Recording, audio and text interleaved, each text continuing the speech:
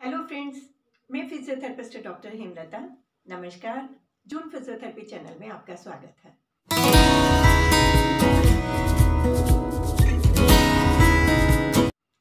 Friends इस video में हम आपके लिए लेकर आए हैं पैरालाइज्ड पेशेंट के लिए कुछ एंकल जॉइंट की एक्सरसाइजेस और फुट की एक्सरसाइजेस फ्रेंड्स जैसा कि आप जानते हैं, जब फ्लैसिड स्टेज को क्रॉस करके पैरालाइज्ड पेशेंट सेकेंड स्टेज यानी कि स्पास्टिक स्टेज में एंटर करते हैं तो नो डाउट उसकी रिकवरी के चांसेस तो बढ़ते ही बढ़ते हैं, लेकिन इसके साथ साथ पेशेंट को कुछ और चैलेंजेस का भी सामना करना पड़ता है। स्पास्टिक स्टेज स्पास्टिसिटी होती क्या है? टाइटनेस इनवॉलेंट्री अनकंट्रोल्ड मूवमेंट ऐसी मूवमेंट्स जो सेकेंड स्टेज में जाने के बाद डेवलप होती हैं, लेकिन वो uncontrolled all of a sudden आते हैं। तो उनको कंट्रोल करना पेशेंट के वश में नहीं होता। पेशेंट की पैरालाइज्ड साइड में टाइटनेस बढ़नी शुरू हो जाती है, जिसकी वजह से अगर एक्सरसाइजेस से उस टाइटनेस को कंट्रोल ना किया जाए तो पेशेंट के लिए वो काफ़ी चैलेंजिंग सिचुएशन क्रिएट कर देती है। उस टाइटनेस को कंट्रोल करने के लिए कुछ एक्सरसाइजेस करनी पड़ती हैं, जिनको कि स्ट्रेचिंग एक्सरसाइजेस बोलते हैं। और पेशेंट जब फ्लैसिड स्टेज में होता है, उस टाइम पे पेशेंट की वीकनेस भी बढ़ती है मसल्स की, क्योंकि मसल्स यूज़ नहीं होती। कुछ पेशेंट तो ऐसे होते हैं कि उनकी जो फ्लैसिड कंडीशन है फ्लैसिड स्टेज है, वो कई महीनों तक रन करती है और कुछ पेशेंट ऐसे हैं कि महीने भर में उस कंडीशन से रिकवर कर जाते हैं और सेकेंड स्टेज में एंटर कर जाते हैं। लेकिन फ्लैसिड स्टेज में पेशेंट और उनके फिजियोथेरेपिस्ट के पास सिर्फ़ एक ही ऑप्शन होता है पैसिव एक्सरसाइजेस और भी एफर्ट्स आपको हमने कुछ लास्ट वीडियो में डिस्कस किया था, वो भी साइड बाय साइड करेंगे तो no doubt recovery speed up होगी. लेकिन ज़्यादातर हमें पैसिव एक्सरसाइजेस की ही हेल्प इस स्टेज में लेनी पड़ती है और कुछ पेशेंट की अंदर के एफर्ट्स हैं, वो इस फ्लैसिड स्टेज से, जल्दी से सेकंड स्टेज में जाने के लिए पेशेंट की हेल्प करते हैं। तो अपने अंदर के एफर्ट्स पेशेंट को हर हाल में लगाने चाहिए, ये मैं हर वीडियो में पेशेंट को बार बार बार बार बताती हूँ। तो जो सेकंड स्टेज आती है, वहाँ स्पास्टिसिटी डेवलप होने लगती है मीन्स बॉडी में टाइटनेस आनी शुरू हो जाती है, जो कि हमारी फ्रेंड भी है और कई बार हमारी एनिमी भी हो जाती है वो, अगर उसको कंट्रोल ना किया जाए तो। और थर्ड और फोर्थ स्टेज में तो स्पास्टिसिटी और ज़्यादा और ज़्यादा बढ़ जाती है। तो थर्ड स्टेज काफ़ी चैलेंजिंग स्टेज होती है, लेकिन फोर्थ स्टेज के बाद स्पास्टिसिटी अगर कंटिन्यूसली फोर्थ स्टेज में अच्छे से काम किया जाए तो स्पास्टिसिटी रिड्यूस होने लगती है और पेशेंट रिकवरी की तरफ़ होता है और सेवेंथ स्टेज को अचीव करने के लिए जल्दी से तैयार होता है। लेकिन इसको अचीव करना इतना आसान नहीं है। मतलब कि पेशेंट को बहुत सारे एफर्ट्स करने पड़ते हैं उनके फिजियोथेरेपिस्ट को एफर्ट करने पड़ते हैं पेशेंट को दिन रात उसी के बारे में मेंटल uh, एफर्ट्स करने पड़ते हैं और एक्सरसाइजेस में जो एडीएल्स हैं means activities of daily living उन्हीं एक्टिविटीज़ को एक्सरसाइजेस के तौर पे यूज़ करना पड़ता है। तो पेशेंट ज़रूर से ज़रूर जब एक स्टेज से दूसरी स्टेज दूसरी से तीसरी और चौथी स्टेज पे आता है तो ज़्यादातर पेशेंट सेवेंथ स्टेज भी अचीव कर लेते हैं। पैरालाइज्ड पेशेंट को लोअर लिम में तीन चार मुश्किलों का सामना करना पड़ता है, जिनमें से एक एंकल ज्वाइंट की ट्विस्टिंग है मीन्स एंकल ज्वाइंट अंदर की तरफ़ इस तरह से ट्विस्ट होने लगता है। और दूसरा उसके साथ साथ क्या है कि पेशेंट के कई बार फिंगर्स ऊपर की तरफ़ इस तरह से नहीं उठती हैं तो पेशेंट जब चलते हैं तो उनको उस कंडीशन को अवॉइड करने के लिए कि उनकी जो फिंगर्स हैं, वो नीचे ज़मीन में लगे नहीं, उनको ठोकर ना लगे तो उसके लिए हिप हाइकिंग का सहारा लेते हैं। हालाँकि हम पेशेंट को हिप हाइकिंग खुद सिखाते हैं, ताकि पेशेंट ग्राउंड क्लियर करने लगे, लेकिन अगर उसके साइड बाय साइड फुट के अंदर मूवमेंट्स नहीं आती तो पेशेंट का जो वॉकिंग पैटर्न है, उसके अंदर काफ़ी डिस्टर्बेंस आने लगती है। पेशेंट साइड में रोटेट करके इस तरह से सरकमडक्टरी गेट के साथ वॉक करने लगता है। Gait means normal walking pattern तो सरकमडक्टरी गेट के साथ जब पेशेंट वॉक करने लगता है तो पेशेंट बाहर की तरफ़ इस तरह से घूम के अपने पैर को आगे की तरफ़ रखता है। कई मसल्स टाइट होती जाती हैं और कुछ मसल्स वीक पड़ती जाती हैं। इन्हीं दो तीन चीज़ों का ध्यान रखना है। कि पेशेंट को पहली बात तो कोई प्रॉब्लम आने ही ना दी जाए, पहले ही ध्यान रखा जाए उन मसल्स का। और बाई चांस कुछ पेशेंट ऐसे होते हैं कि कई बार अपने फिजियोथेरेपिस्ट को अच्छे से फॉलो नहीं करते तो कुछ गलत चीज़ें, गलत मूवमेंट्स पेशेंट की आने लगती हैं। तो फिजियोथेरेपिस्ट को अपने पेशेंट को वो चीज़ें साइड बाय साइड बताते हुए चलनी चाहिए कि आप ये चीज़ होगी, अगर आपने इस एक्सरसाइज का इस तरह से ध्यान नहीं रखा तो यहाँ ये ये गलत मूवमेंट्स आने शुरू हो जाएँगे। तो इन चीज़ों का पेशेंट को भी ध्यान रखना है। तो एंकल जॉइंट की जो रोटेशन है, उसको अवॉइड करने के लिए और फिंगर्स को ऊपर की तरफ़ मूवमेंट स्टार्ट करने के लिए हम कुछ पाँच एफर्ट्स करेंगे।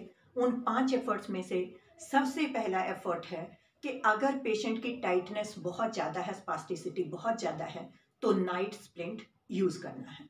पेशेंट का पंजा बहुत ज़्यादा नीचे की तरफ़ झुक के चलता है घिसड़ के चलता है फिंगर्स ऊपर नहीं उठती उंगलियाँ अंदर की तरफ़ मुड़ने लगती हैं। तो उस केस में वॉकिंग के टाइम पे भी एंकल फुट ऑर्थोसिस यूज़ करनी है। तो कुछ वॉक के लिए भी स्प्लिंट और ब्रेसेस होती हैं और कुछ नाइट स्प्लिंट्स होते हैं। उन दोनों के बारे में पेशेंट के फिजियोथेरेपिस्ट अपने आप अच्छे से बता पाएँगे कि नाइट स्प्लिंट की ही ज़रूरत है, या फिर वॉकिंग के लिए भी स्प्लिंट की ज़रूरत है। तो उनको पेशेंट के लिम की मेज़रमेंट के अकॉर्डिंग ही उन स्प्लिंट्स को यूज़ करना होता है। अगर बहुत ज़्यादा टाइटनेस है तो ही पेशेंट स्प्लिंट यूज़ करें।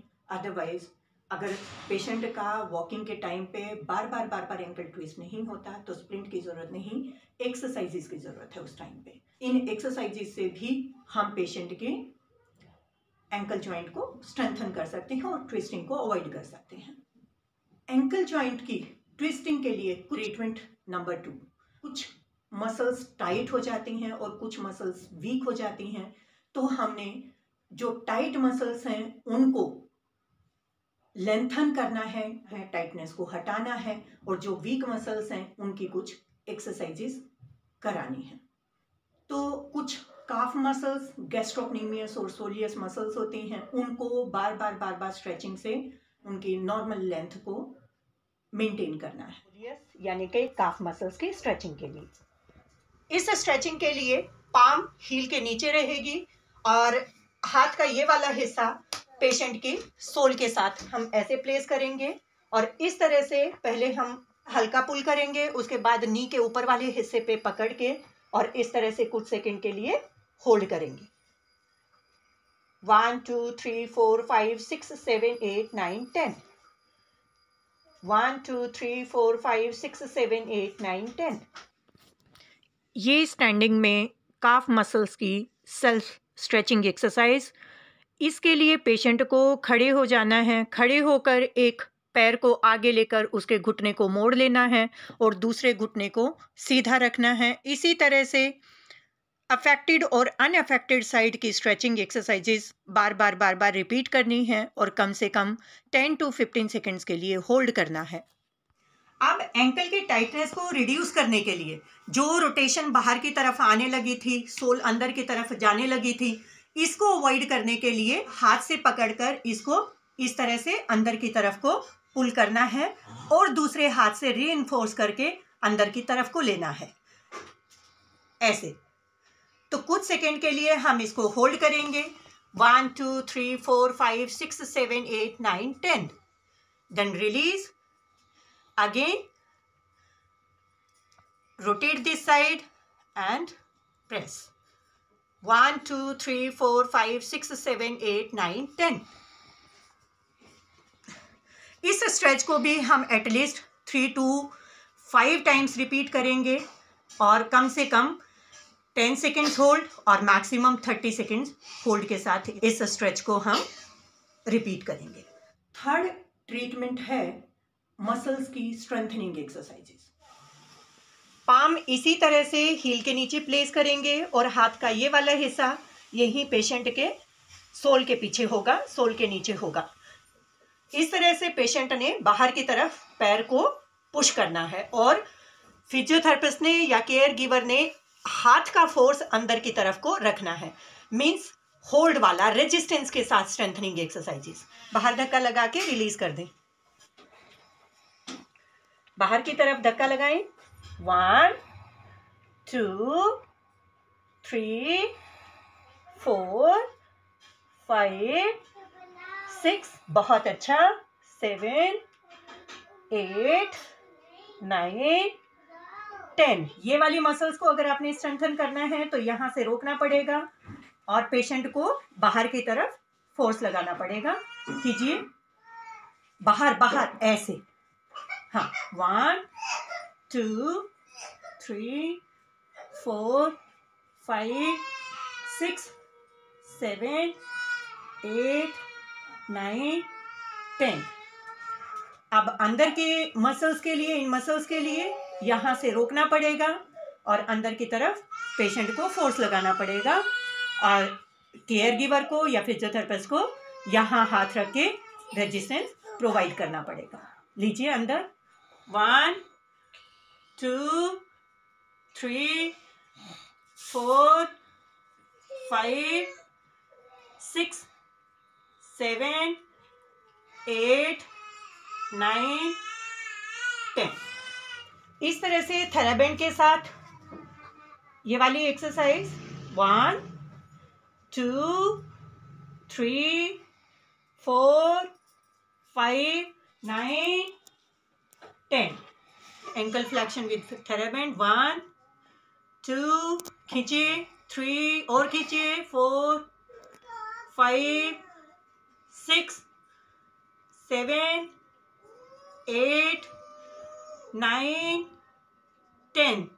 अगर आपके पास थेराबेंड अवेलेबल नहीं है तो आप इस तरह से हाथों से नीचे की तरफ़ खींच सकते हैं और पेशेंट अपने पैर को आपके रेजिस्टेंस के अगेंस्ट ऊपर की तरफ़ पुल करेंगे। One two three four five six seven eight nine fourth way of treatment है कि जो पेशेंट का वॉकिंग पैटर्न है, हमने उसको करेक्ट करना है। तो उसके अंदर हमें कुछ ऐसे इक्विपमेंट को यूज़ करना है। हमें इस तरह के एफर्ट करने हैं कि पेशेंट की एंकल जॉइंट की ट्विस्टिंग को अवॉइड किया जाए और जो मसल्स उसकी वजह से टाइट होती हैं, उनकी टाइटनेस को अवॉइड किया जा सके। इस तरह से ट्राइंगल शेप का इक्विपमेंट इसके लिए लेना है। और इसमें जो ये वाली साइड है, जो पतली साइड है जो स्लोप जहाँ बनता है, उसको अंदर की तरफ़ इस तरह से रखना है और पैर के नीचे इस तरह से प्लेस करना है। जिससे पैर अंदर की तरफ़ झुकाव में आए और जो इस तरह से ट्विस्टिंग जो बन रही थी, वो खत्म हो जाए। और इसी पे वेट बियर करना है पेशेंट ने। उठाइए आप पैर। इस स्लोप के साथ जो ट्विस्टिंग अंदर की तरफ़ थी, उसका अपोजिट एक्शन होगा। और पेशेंट का पैर जो बाहर की तरफ़ मुड़ने लगा था, वो अंदर की तरफ़ झुकने लगेगा। और ये वाली मसल्स अंदर की, ये स्ट्रेच होने लगेंगी, यहाँ टाइटनेस कम होगी। तो पेशेंट की ऑटोमेटिकली मूवमेंट बढ़ेंगी और वेट बेयरिंग इस के साथ करने से और वॉकिंग भी अगर पेशेंट इसी इसी ट्रायंगल के साथ करता है तो रियली बहुत जल्दी से पेशेंट के पैर में चेंजेस आते हैं। और जो ट्विस्टिंग है एंकल की रोटेशन है वो बहुत जल्दी से रिकवर होती है। Now treatment number five patient का एंकल ज्वाइंट के ऊपर वेट बियरिंग कैपेसिटी पेशेंट की बढ़ानी है। वेट बियरिंग दो से तीन तरीके ऐसे हैं जिससे जो अफेक्टेड साइड है, उसके ऊपर पेशेंट की वेट बियरिंग ज़्यादा से ज़्यादा बढ़ाई जा सके। जैसे ही फ्लैसिड स्टेज की रिकवरी के बाद पेशेंट खड़ा होना शुरू करता है और अफेक्टेड साइड पे वज़न लेना शुरू करता है तो उस टाइम पे पेशेंट को अनअफेक्टेड साइड को बार बार जल्दी जल्दी करके ऊपर उठाना है। धीरे धीरे उसको लंबा होल्ड करना शुरू करना है मीन्स उठा के रखना है। इस तरह से। तो कम से कम 10-15 सेकेंड्स के लिए पैर को अनफेक्टेड साइड को उठा कर रखें और इसको बार बार बार बार रिपीट करें। फिर उसके बाद पेशेंट को एक ब्लॉक टाइप पैर के नीचे लेना है और उसी तरह से वेट बे उसी तरह से अफेक्टेड साइड की वेट बियरिंग बढ़ानी है और अनअफेक्टेड साइड को ऊपर उठा के रखना है। उसके बाद जो ब्लॉक लिया था, उसकी हाइट को इंक्रीज़ कर देना है, जिसकी वजह से ऊपर हिक हिप हाइकिंग पेशेंट सीख जाए और पेशेंट वेट बढ़ाना और बैलेंस बनाना भी उस पैर पे शुरू कर दें। तो धीरे धीरे अगर पेशेंट की इस तरह से अफेक्टेड साइड पे वेट बियरिंग होगी तो पेशेंट का बैलेंस भी बहुत जल्दी से बढ़ेगा। और ट्विस्टिंग वाली प्रॉब्लम भी धीरे धीरे सॉल्व होनी शुरू हो जाएगी। तो फ्रेंड्स, ये थे पैरालाइज्ड पेशेंट के लिए कुछ एंकल जॉइंट की एक्सरसाइजेस और उनके वॉकिंग पैटर्न को करेक्ट करने के लिए एफर्ट्स। हम नेक्स्ट वीडियो में लेकर आएँगे कुछ नी जॉइंट की एक्सरसाइजेस। फ्रेंड्स, अगर आपको हमारी वीडियो पसंद आई हो तो प्लीज़ हमारी वीडियो को लाइक करें हमारे चैनल को सब्सक्राइब करें, बेल नोटिफिकेशन ज़रूर प्रेस करें ताकि हमारी वीडियोस आपको सबसे पहले मिल सकें। हम आपके लिए और वीडियो लेकर आते रहेंगे। Thank you for watching my channel